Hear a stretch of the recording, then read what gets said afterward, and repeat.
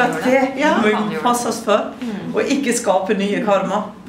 For det er veldig lett å gjøre det. Hver gang vi dømmer noe. Tjo! Ok. Men ja Går vi her karmafri? Det er graderinger av å være karmafri. For vi kan si at vi forløser gjennom Nå må jeg, nå må jeg spørre, Ja. ok? For dette vet ikke jeg. Um,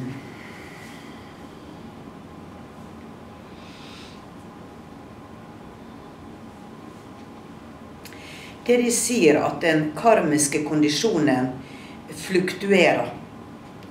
Den også kommer og går innenfor en livslinje. Den fluktuerer. Du kan bli karmafri i et øyeblikk, og så kan du gå inn igjen og skape nye. Ja. Så der er en fluktuering, men der er spesifikke karma som du kan forløse. Og være karmafri på de utfordringene. Så hvis tematikken er sjalusi, så kan du bli karmafri på sjalusi. For du har forløst det. Og så kan du gå løs på neste som kanskje er tilgivelse. Altså det er forskjellige graderinger som blir som blokker vi tar i tur med. Blir karmafri på de blokkene. Og selv Gandhi var karmafri fordi han fikk hjelp av millioner av mennesker å opprettholde sin karmafri tilstand. Fordi andre kom inn fra mange sjelsgrupper fordi han hadde en spesifikk jobb å gjøre. Og skulle ikke falle for fristelsen, for han hadde et eh, peace movement. No fight movement. Og han ble jo provosert og provosert og provosert. Og han hadde ikke klart det alene. Han hadde kun han kunne kun klare det ved at eh, mengder av mennesker hjalp han til det. Som John of God har hundrevis av mennesker som sitter og ber i et tilstøtende rom, sånn at han kan utføre sine operasjoner og gjøre det han gjør.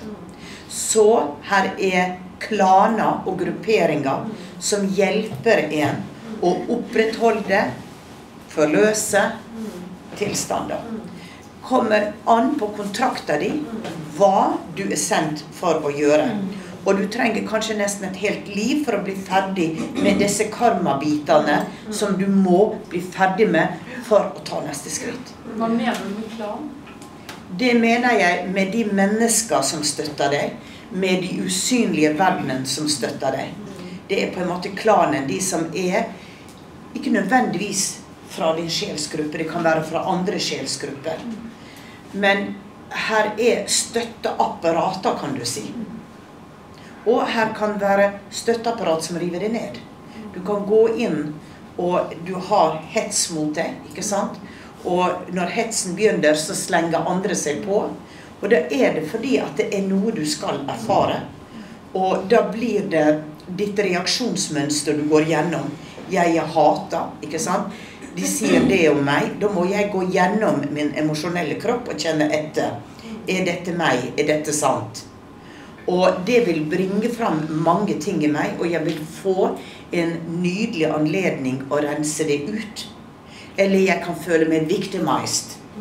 Gud, hvor fæle de er mot meg. Okay. Jeg har ikke gjort noe galt. Jeg setter piggene ut og forsvarer meg. Ja. Jeg har bare lyst til å komme med en kommentar til det. For det kan jo, noe av det oppfatter du inne på, at en kan jobbe med kollektiv karma. Mm. Og det Yes. kan være lurt å gjenkjenne, for da går det ikke bare på det vi vanligvis tenker på som yeah. mellommenneskelige projeksjoner, men det blir projisert andre biter på en mm. som er lurt å gjenkjenne. For hvis det ikke kan det bli veldig vanskelig å bære. Mm. Som verdenssorgen f.eks. Altså mye Ja. Og Ja. maktmennesker som går til angrep for en utfordrer deres maktbase f.eks. Yes. Yes.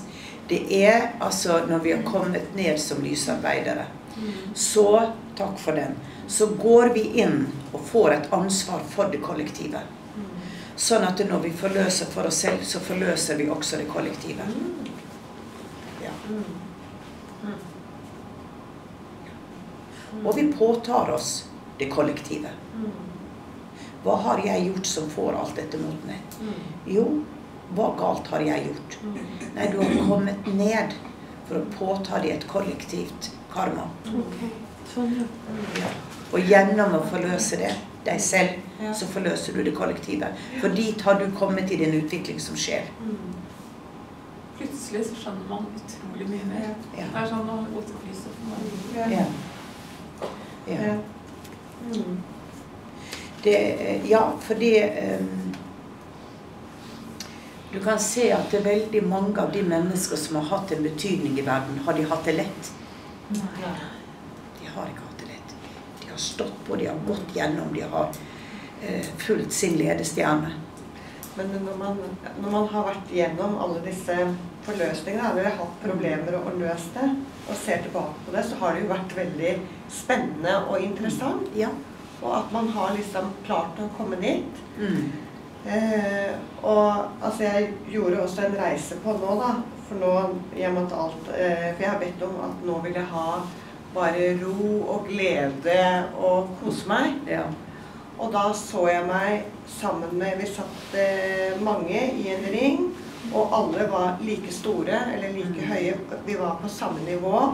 Og det var rolig og hyggelig, og sånn satt jeg der. Og det var så kjedelig. Utrolig kjedelig. Så jeg, må, jeg, så jeg bare gikk ut av den ringen. Ja, ok, jeg må ha det litt mer gøy. Litt mer spenning. Ja. Ja. Kan Det, ikke bare være helt flat og det, blir, det blir ingen, Ja, ingenting. ikke noe spenningsfelt. Det er jo der vi kreerer. ja. Og det gjør man jo overalt i universet. Man kreerer.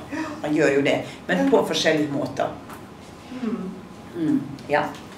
Ja, når du snakka om det så gikk det litt sånn lys opp for meg òg. Fordi jeg har hatt en erfaring av at det er en sånn spesiell problemstilling da, som, eh, som har en tendens til å gå i sirkel i livet mitt, som jeg har gjort det veldig lenge. Eh, Som også har med andre mennesker hvor jeg ikke har forstått at jeg syns ikke jeg kan ha noen påvirkningskraft på dem som på en måte har skapt den situasjonen. Da. Så jeg liksom lurer på hvordan kan jeg uh, ha egentlig noen kontroll over det, eller hvordan kan jeg liksom ha satt i gang dette igjen, egentlig.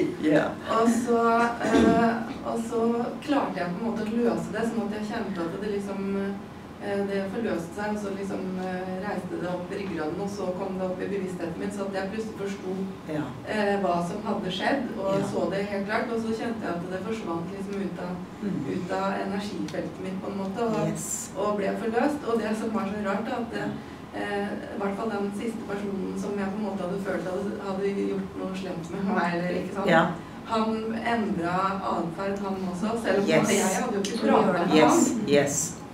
Riktig. Så han kom også ut av sine, sine Ja, ting. ja, på yes. Mm. Du, ja. Glimrende. Ja. Nei, det er veldig spennende. Ja. Et litt sånn lite spørsmål i forhold til eh, det dagligdagse i å være en lysbærer. Mm. Jeg tror at det er veldig mange som deler det spørsmålet med meg, fordi jeg har hele tiden dårlig samvittighet eh, for at ikke jeg type eh, lærer mer, at jeg tar mer tak i det spirituelle, selv om jeg er i det mye hver eneste dag. Så føler jeg at jeg skulle, åh, den boken skulle jeg ha lest, eller det kurset skulle jeg kanskje ha tatt, eller nå mediterer jeg ikke nok, eh, jeg prøver ikke å kanalisere nok, altså etc. Har du noe sånn Mm. å si på det? De sier til deg at Beloved, it's your ego talking. It's only your ego talking. Mm. Fordi at egoet vårt vil så mye og får dårlig samvittighet. It's guilt. Fordi at uh, man vet. Men det er noe med å forstå at uh, ved å være ditt lys,